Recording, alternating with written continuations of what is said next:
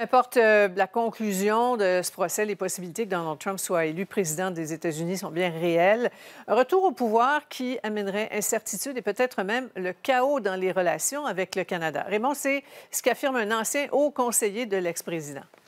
John Bolton, qui a travaillé de concert avec euh, Donald Trump, qui a donc très bien connu euh, l'ancien président pendant deux ans, les deux années qu'il a travaillé avec lui. Il dit néanmoins, ni plus ni moins, Sophie, que le Canada doit se préparer à une tempête si M. Trump réussit son pari de remporter les élections de novembre prochain.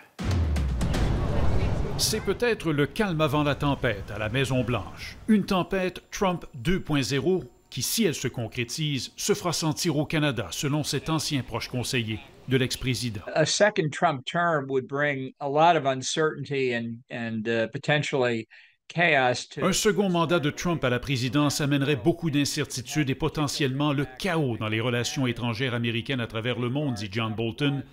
En entrevue à TVA Nouvelle, il affirme que cela aurait un impact particulier sur le Canada.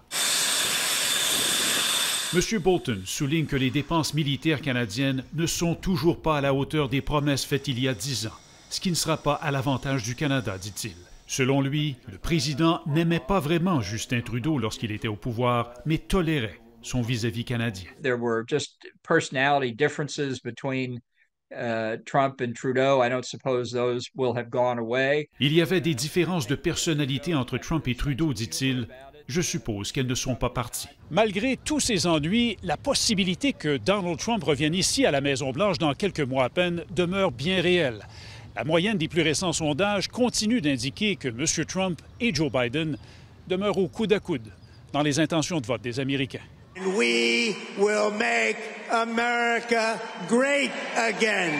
Donald Trump propose d'imposer un droit de douane de 10% sur les importations. Il n'a pas encore détaillé son plan, mais son ex-conseiller affirme que ça n'augure rien de bon pour le Canada.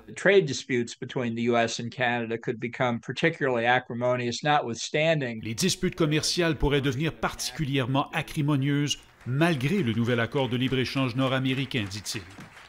Or, l'ambassadrice canadienne à Washington, elle, tient un tout autre discours. Ça m'inquiète pas. Kirsten Hillman dit n'avoir aucune raison de craindre de voir Trump imposer des tarifs sur les produits canadiens. Nous venons de négocier sous lui, sous son administration, une entente où 99 des tarifs entre le Canada et les États-Unis sont enlevés. C'est lui qui l'a négocié avec nous, alors c'est là le, point de départ. Donc vous pensez que le Canada sera exempté? Je crois que le Canada doit être exempté. John Bolton rappelle toutefois que Donald Trump est imprévisible.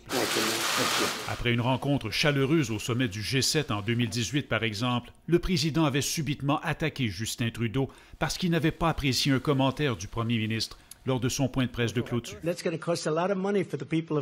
Like almost everything else about Donald Trump, it would depend on what time of the day you asked him. Avec Trump, tout dépend du moment de la journée où vous lui posez la question, dit-il. Si plusieurs Américains rencontrés près de la Maison-Blanche disent craindre un retour de Trump, I really think that, uh... D'autres affirment vouloir à tout prix se débarrasser de Joe Biden. Alors, que fait le Canada pour se préparer au retour possible de Donald Trump? Et qui, entre les libéraux et les conservateurs, serait les mieux placés pour gérer un Donald Trump 2.0? C'est ce dont nous discuterons demain dans notre prochain reportage. Raymond Filion, TVA Nouvelle, Washington.